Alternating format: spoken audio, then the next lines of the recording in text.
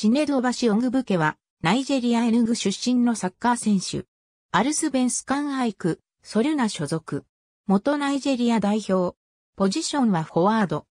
ノルウェーの FC リンオスロでは、同じく、ナイジェリア代表で後に、チェルシー FC に移籍するミケル・ジョン・オビと、チームメイトだった。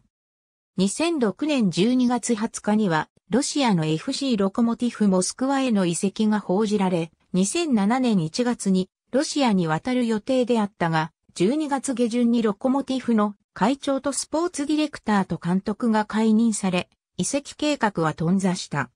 2007年8月27日、ドイツツバイテリーガの TSG1899 ホッフェンハイムに移籍した。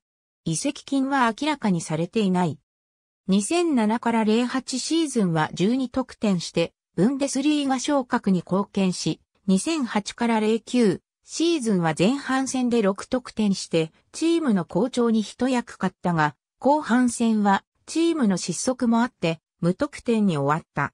2011年12月23日、半年間の契約でシャルケ04にレンタル移籍した。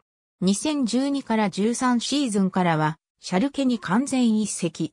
2016年8月4日、スウェーデンのアイク、ソルナに移籍。2017年2月4日、スベン・ゴラン・エリクソンが監督を務める新選手属級クラブに移籍。2017年2月26日、アイク、ソルナに復帰した。2018年3月3日、トライアルを経て、ボルトン・ワンダラーズ FC に加入した。2018年8月12日、シーズン終了までの契約でイフエルフスボリに加入した。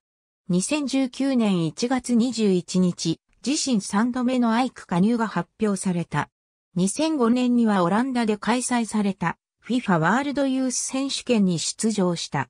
オバ氏は準決勝と決勝でそれぞれ得点する活躍を見せたが、決勝で U-20 アルゼンチン代表に敗れた。2010年にはアフリカネーションズカップ2010に出場し、グループリーグ初戦のエジプト戦では12分に得点した。準決勝のガーナ戦でも傑出したプレーを見せたが、ガーナに敗れて3位に終わった。